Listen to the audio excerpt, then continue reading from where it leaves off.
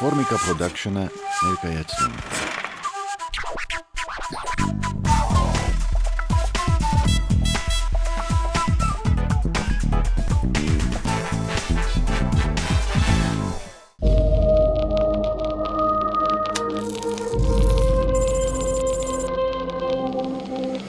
Յուրաքանչյուր մարդու կյանքում գոյություն ունի երկու կարևոր իրադարձություն՝ ծնունդ եւ մահ։ Դրանց արանքում կյանքն է։ Մեկի կյանքը երկար է, մյուսինը կարճ։ Սակայն մարդիկ որպես կանոն խուսափում են մտածել մահվան մասին, կարծելով թե իրենք հավերժ են ապրել։ Բարև ձեզ։ Այսօր ստորակետը անդրադառնալու է մի հարցի, որը բոլորի համար տհաճ է, գուցե նաև սարսափելի, բայց դժբախտաբար նաև անխուսափելի։ Խոսելու ենք թաղումների մասին, ոչ թե թաղումների մասին ընդհանրապես, այլ թաղման մասին մասնավորապես։ Ինչ ցանոթ մի հոգեբան ասում էր, որ մեր հայրականության մեջ թաղումների այս վազվզոցը հաճախ օգնում է մահացածի հարազատներին վիշտը ավելի թեթև տանելուն։ Այդպես է արդյոք։ Ճշմարտություն կա իհարկե, դա այսպես ասած երկակի է անկալվում միշտ էլ մի կողմից դա կարող է նրանց հրել, իսկ մյուս կողմից էլ կա այս նույն հակառակ կարծիքը, որ իրավիշտը թողած են գնում ավազոզների հետևից եւ այլն, դրա համար ասենք միանշանակ չի կարելի ասել, որ դա օգնում է թե հոգեբանորեն նրա համար ավելի ծանր, թե ավելի թեթևացնում է։ Ենթադրենք մարդու դժբախտություն է պատել, հարցը ուղղում եմ ձեզ եւ ինքը պիտի զբաղվի իր հարազատի թաղման արարողակարգով։ Ինչ քայլեր են անհրաժեշտ, որտեղից պետք է սկսել, ուր դիմել, ինչպես Առաջինը ասեմ, որ ունենք ծառայություն, հանգուցյալի տուն այցելող անձնավորությունը բոլոր քաղաքապետարանի եւ վերադաս կողմից հաստատված որոշումներով թե յուրաքանչյուր գործողությունը ինչքան գումար պետք է մուծի հանգուցյալ հարազատները, որից շատ քչեր են օգտվում այսօրվա դրությամբ։ Երկրորդ հարցը, ինչ որ դուք առաջարկեցիք, հուղարկավորության ժամանակ հանգուցյալի հարազատները ներկայացնում են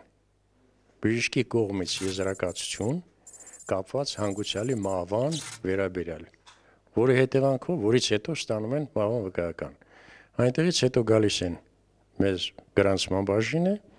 եւ կատարում են համապատասխան գրանցում, թե որտեղ եւ որ գերեզմանոցում, որ շարքում պետք է ուղարկավորվի հանգուցյալը։ Մեզ մոտ գրանցելուց հետո գնում են ընտրում են գերեզմանատեղ, որից հետո գալիս են մնացած փաստաթղթերը ձևակերպում են եւ հողարկավորության տեղ փորելու համար գումարը մուծում են, իսկ որը որ պարտադիր չի, կարող է հանգուցյալի հարազատը ինքը իր միջոցներով տեղ փորի եւ այդ գումարը չմուծի։ Որից հետո կատարում է հողարկավորություն։ Իսկ դագաղի ընտրությունը, երաշտյան ընտրությունը, մնացած բոլոր ծառայությունները, վճարովի ծառայություններն, որոնք տնտեսությունը չունի, նա օգտվում է դրսից կամ մեկ ուրիշ ծառայություններից, որտեղ որ կա Երևան բան սիկոսերվիս ծառայություններից։ Այսինքն մեր բոլորին հայտնի թաղման բյուրո, այսինքն Երևանի քաղաքապետարանի բնակչության հատուկ սպասարկում ՕԱԿ-ը որպես այդպեսին հուղարկավորությունը կամ թաղման արարողությունը կազմակերպող ծառայություն չի տրամադրում քաղաքացիներին։ Քաղաքացիներին, եթե նրանք պահանջարկ ունեն, սպասարկումը, բայց չունի, ասենք նվակ չունի դիատար մեքենաները քիչ են, ընդամեն 3 հատ դագաղ չի արտադրում Երևանի բնակչանատուկ սպասարկում է։ Դրանք բոլորը արտադրում են սկոսերվիս ծառայությունները, որոնք այսօրվա դրությամբ կարելի է ծառայություններ ասել, որ 40-ից ավելի կան Երևան քաղաքում։ Բարձր, շնորհակալ եմ։ Մահացածի հարազատները կարծեմ պետության կողմից նպաստ են տանում, որը կոնկրետ չափ ունի։ Խնդրեմ դուք բարձրաբանեք ինչպես է գոյացել այդ գումարը եւ ում որ դեպքում է հատկացում գուցե տարբերություններ կան կամ խնդրեմ համեցեք։ Պետական կենսաթոշակների մասին Հայաստանի Հանրապետության օրենքի 44-րդ հոդվածի համաձայն կենսաթոշակառուի մահվան դեպքում հուղարկավորությունը կատարած անձին վճարում է միանվագ թաղման նպաստ 200.000 դրամի կարգով։ Դրա համար պետք է հուղարկավորությունը կատարած անձը համապատասխան փաստաթղթերը կենսաթոշակառուի մահվանից հետո 6 ամսվա ընթացքում ներկայացնի կենսաթոշակ նշանակող համապատասխան ստորաբաժանում։ Այդ փաստաթղթերի ցանկը սահմանված է Հայաստանի Հանրապետության կառավարության կողմից եւ դրանք հիմնականում հետեւյալ փաստաթղթերն են։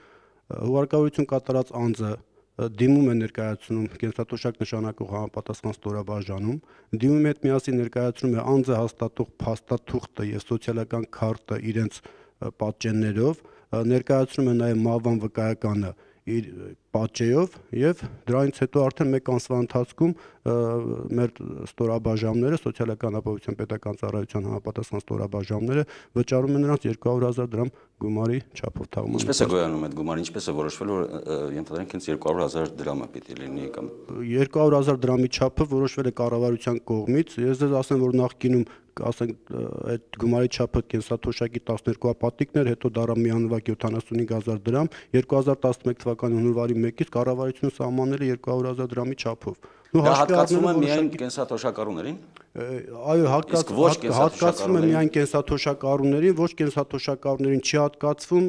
Ես ասեմ, որ այստեղ կա նաև եւս մեկ բացառություն կապված այն կենսաթոշակառուների հետ, որոնք բնակվում են, գտնվում են բնակչության պաշտպանության սոցիալական կազմակերպություններում, այսինքն մանկատներ, ծերանոցներ, հոգեբուժարաններ, եթե այդ թոշակառուները գտնվում են այդ կազմակերպությունների, այսինքն պետության խնամքի տակ են գտնվում,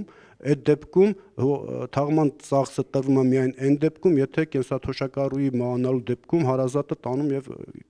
իրականացնում հուղարկավորությունը։ Իսկ եթե հուղարկավորությունը իրականացնում այդ կազմակերպությունում, այդ դեպքում թաղման նպաստ չի վճարվում։ Թաղման նպաստ վճարում են նաեւ հաշմանդամ դարձած անձին, Եթե անձը ճանաչվել է բժշկասոցիալական փորձակնություն իրականացնող պետական իրավասու մարմնի կողմից ճանաչվել է հաշմանդամ, սակայն հաշմանդամ ճանաչվելուց հետո 3 ամսվա ընթացքում չի դիմել կենսաթոշակ նշանակող իրավասու մարմնի եւ չի դարել կենսաթոշակառու այդ ընթացքում մահանալու դեպքում նորից մեր կողմից տրամադրվում է 200.000 դրամ թաղման նպաստ։ Այս ողջ տեղեկատվությունը ձեր սոցիալական դիմելու դեպքում քաղաքացին կարող է ստանալ ձեզանից որ սիմանա։ Սոցիալական ապահովության պետական ծառայության բոլոր տարածքային ստորաբաժանումներում նրանք կարող են համապատասխան պարզաբանումներ ստանալ եւ Եթե թույլ կտաք, ուրեմն ես այս վերջերս մի ծանոթ մարդ ունեցավ դժբախտություն, հա, հարկավորության մասնակցեց եւ ծախսերը ամբողջովին արեց եւ մոտավոր հաշվարկներով հուղարկավորության ծախսերը կապված նաեւ ավանդական, հա, խնդիրների երաշտություն եւ հոգեհաց եւ այլն կազմեց մոտավորապես 1 միլիոն 400 հազար դրամ, եթե չեմ սխալվում, եւ ես գիտեմ որ թաղումը ու հարկավորությունը շատ ճոխ չի եղել ելա նորմալ ստանդարտ եւ շատ դժվարանում եմ հասկանալ եւ մեկ էլ մեկ հարց ունեմ ձեզ եթե դժվար չի երբ որ գերեզմանափոսը հա փորում են 30000 գումար են չէ վճարում ես մի քիչ հետաքրքրվել եմ փոխանցումով ճիշտ է դա փոխանցում են ճիշտ է բանկի միջոցով ես լսել եմ որ բացի դրանից կա նաև ավանդույթ գերեզմանափորերին առանձին վճարելու եւ մարդիկ շատ վախով են վերաբերվում, որ եթե հանկարծ գերեզմանափորին չվճարեն, լավ չեն փորի, կձգձգեն եւ կկանգնեցնեն ինչ-որ խնդիրների առջև։ Եթե մեկն ու մեկը գերեզմանոցում ձեզանից փոսփորողների մասնախոսքը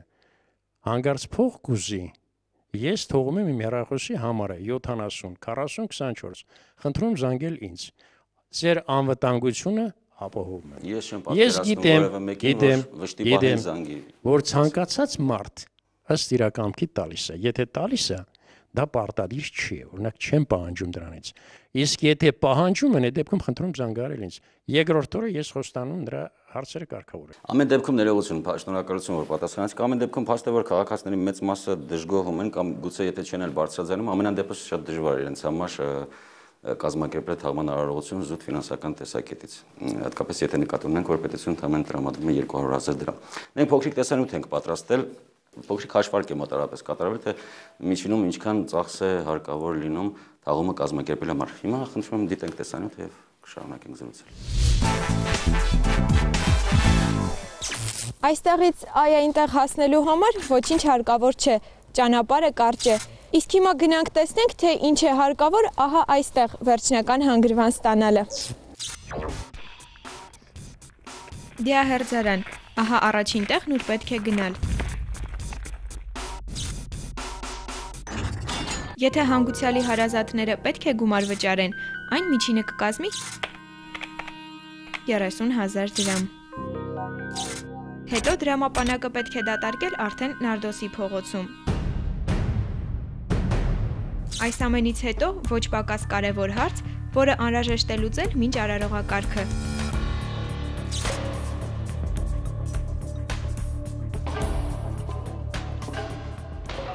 Անհրաժեշտ է ընտրել վայրը, որտեղ պետք է հողին հանձնել հանգուցյալին։ Ինչքան մեծ է գերեզմանատան տարածքը, այդքան մեծ է գնային տարբերությունը։ Իսկ հստակ որտեղն ու ինչպիսի սալիկապատում ընտրել մենք ստացված թվին գումարենք միջին արժողությունը ու գնանք արդեն հոգեհացի տուն։ Թվում է այստեղ էլ մի թիվ կավելանա ու հաշվիչը չի կարողանա այն ցույց տալ։ Բայց հիմա էլ գումարենք այս վերջին թիվը եւ Ըստ մեր ստացած տվյալների եւ պետության տրամադրած միջին գումարի, փաստորեն պետք է մահանա 9.5 մարդ, որpիսի մեկին կարողանան պատվով հողին հանձնել։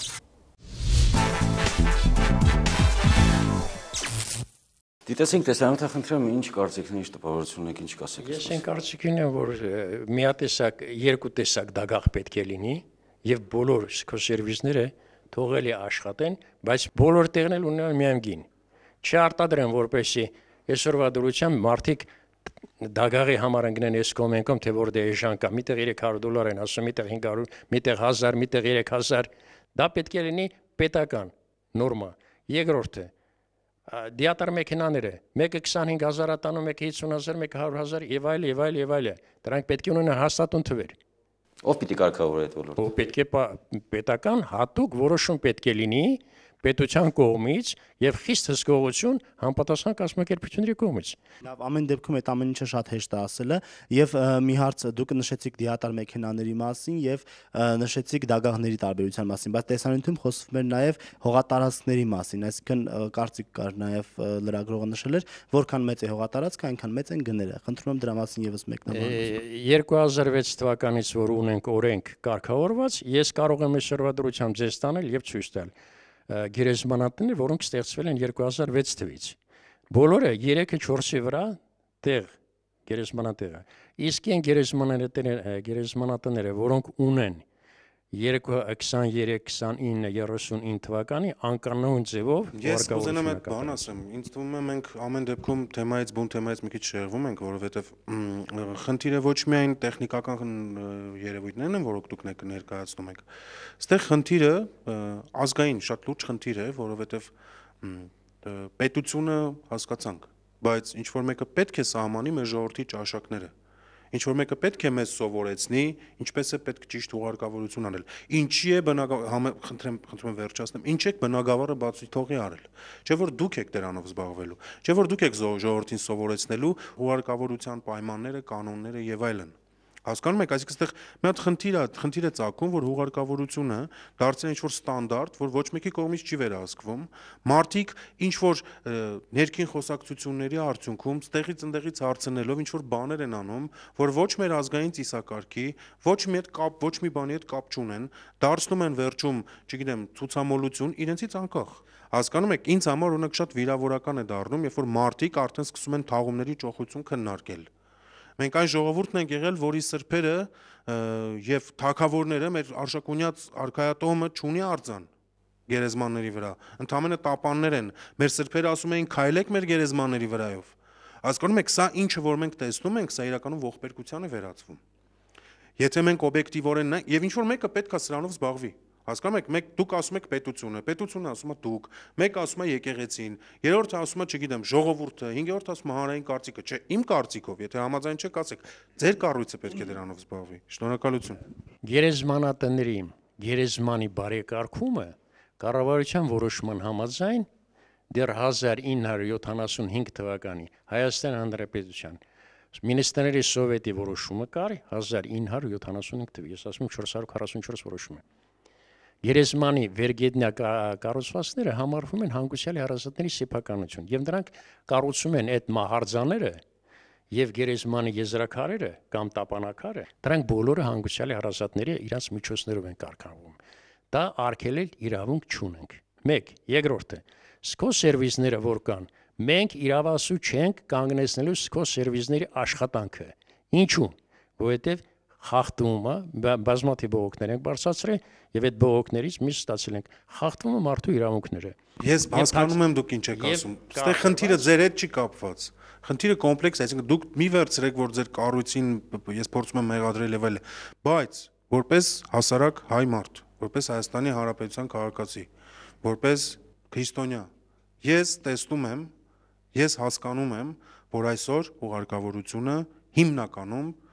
թող ինձ ներեն այն մարդիկ, ովքեր որ հուղարկավորությամբ են զբաղվում, բայց իմ կարծիքով, իմ սուբյեկտիվ, իմ անձնական տպավորությամբ վերածվում է գործի, բիզնեսի անգլերեն բառով, որ մարդիկ դժբախտության վրա գործ են անում, որ մարդիկ դժբախտության վրա բիզնես են անում, եւ դրա դեմը իմ կարծիքով պետք է առնել։ Այսօր պիտի խնդրեմ նաև ձեր խոսքում անդրադառնանք նաև այն հարցին, թե մեր ժողովրդի վերաբերմունքը թաղման արարողակարգին որքանով է համապատասխանում մեր հայ առաքելական եկեղեցու վարդապետին։ Պետք է ասել, որ ընդհանրապես առնչություն չունի այն ինչ որ կատարվում է այսօր թաղման կարգի հետ նախ մենք այսօր որպես ինչ ենք այդ թաղումը կատարում որպես քրիստոնյա որպես ոչ քրիստոնյա որպես մարդիկ որոնք ուզում են իրոք իրենց վիշտը իրենց հարազատին հրաժեշտ տալ դեպի հավիտենականություն, թե պարզապես այդ վշտին ուզում են խառնել նաև իրենց ֆինանսական հնարավորությունները։ Պետք է ասել, որ սովետական միության տարիներից, երբ եկեղեցին արգելվեց, որպիսի կարողանա ազատ իր գործունեությունը ծավալել, մեր ժողովուրդը մատնվեց անորոշության, որովհետև նախապես ամեն մեկ ծես առնչակից էր եկեղեցվո։ Երբ վերացավ ավանդական այդ արարողակարգերը,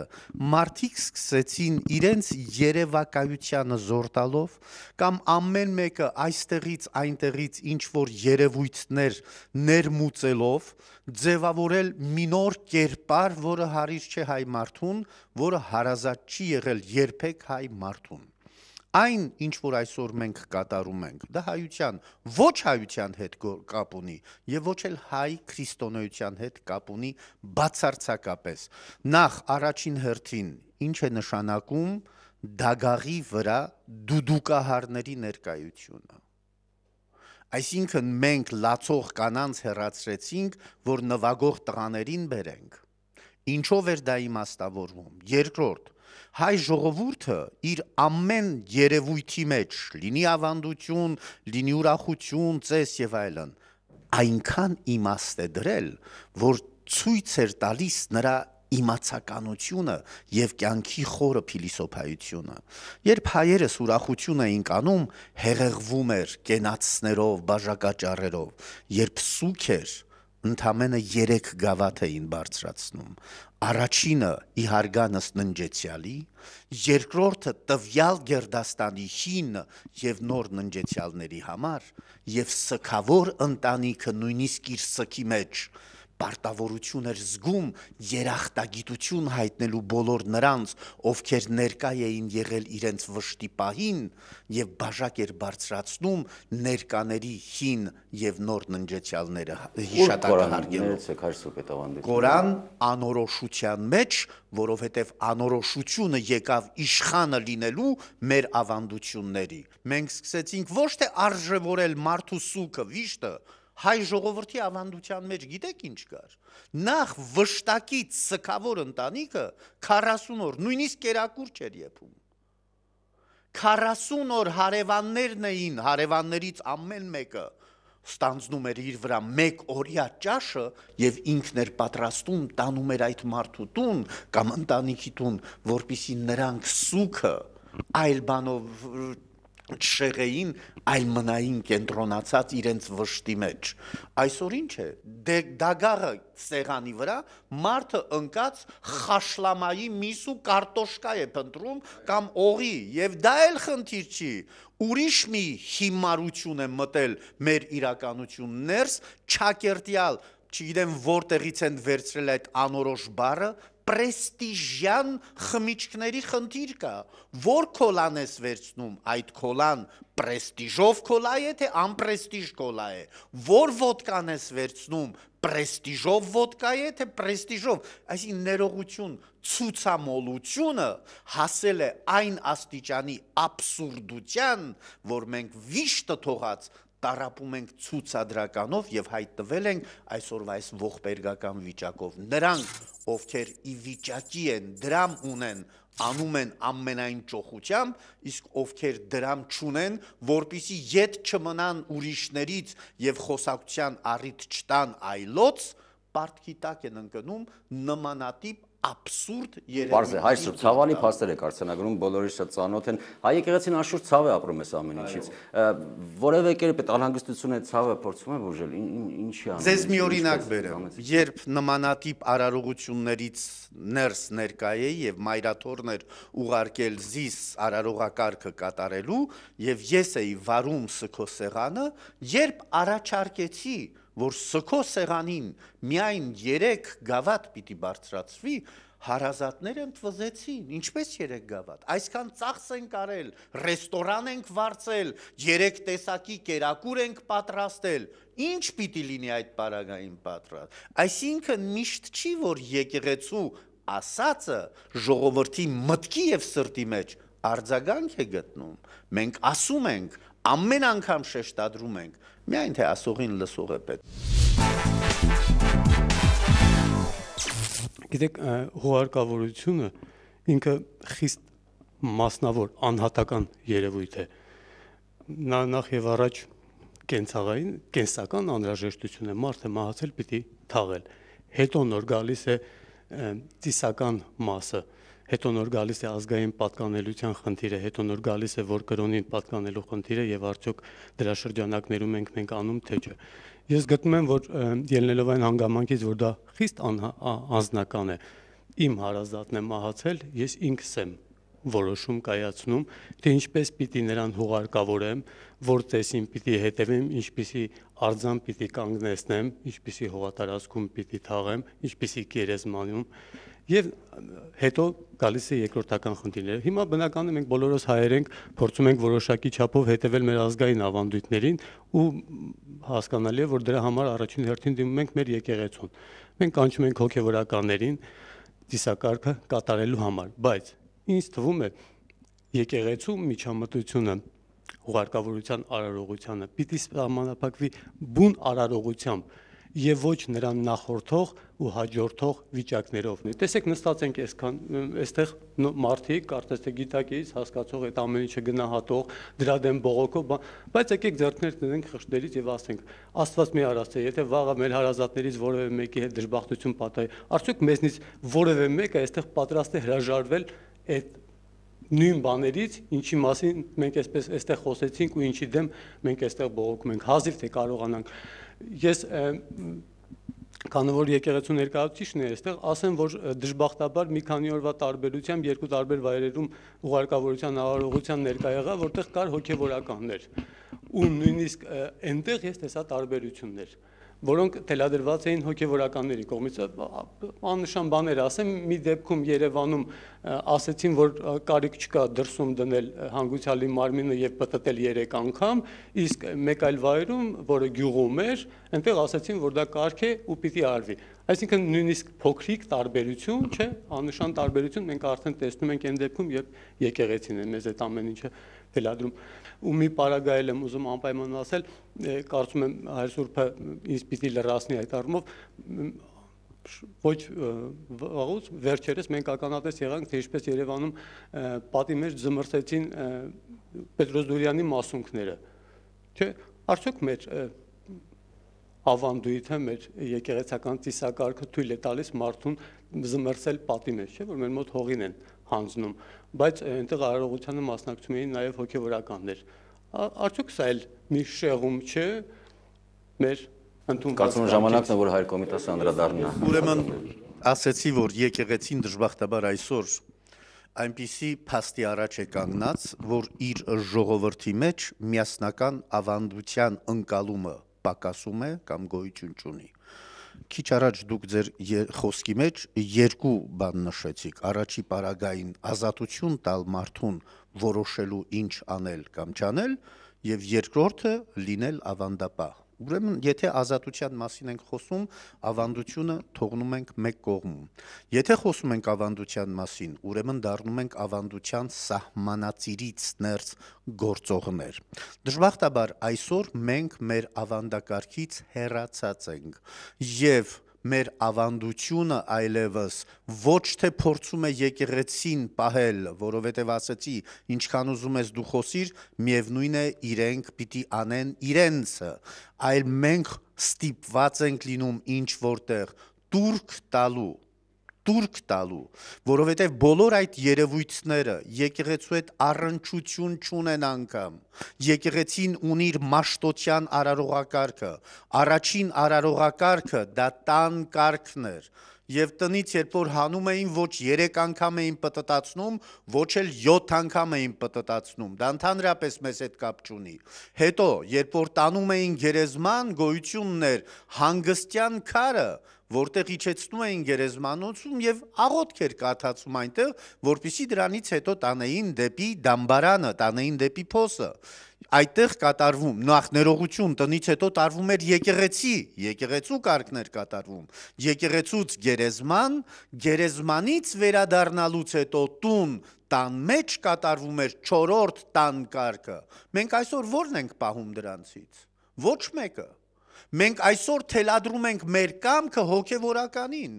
որpիսի հոգևորականը անի այնպես, ինչպես իրենք են ուզում։ Նմանատիպ երևույթ է նաև պատի մեջ զմրզելու գաղափարը։ Այդ դեպքում ուր մնաց հողեիր եւ հող պիտի դառնաս եւ ուր մնաց երբ մենք գերեզմանը կնքում էինք եւ ասում էինք առնշարժ եղիցի կնիկ Տերունյան Տիրոջ անունով կնքում էինք, որ երկրորդ Գալստյան միայն պիտի բացվեր այդ գերեզմանը։ Ուրեմն ազատությունը լավ է, բայց չափից ավելի ազատությունը հավաքականությանը տանում է դեպի քաոս, դեպի անորոշություն։ Մենք այդ քաոսից պիտի կարողանանք հեռու մնալ, պահելով մեր ավանդությունը իսկ ավանդությունը այնքան գեղեցիկ է հայերիս որ մեղք կլինի այդ ավանդակարգը չպահել ես նշեմ նաև որ մեր զրույցը որպեսի ավելի համակողմանի ստացվեր մենք նաև հրավիրել էինք ազգագրագետ ինչպես նաև մեր նախորդ մի քանի հաղորդաշարերին բայց ցավոք սրտի ավանդույթ է դառնում թե ինչ ազգագրագետները չեն մասնակցում ինչ-ինչ պատճառով համաձայնեք որ ազգագրագետի ներկայությունը նույնպես լույս կսփռի այս խնդիրների վրա եւ գուցե կարծիքներ լինեին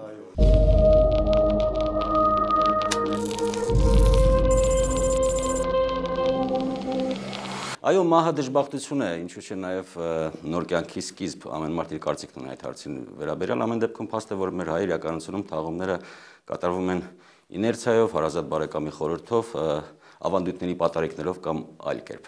Ամեն դեպքում, ինչպես ասում էր Մարկ Տվենը, եկեք ապրենք այնպես, որ նույնիսկ դա գաղագործը տխրի մեր մահվան համար։ Եթերում ստորակետներ կհանդիպենք։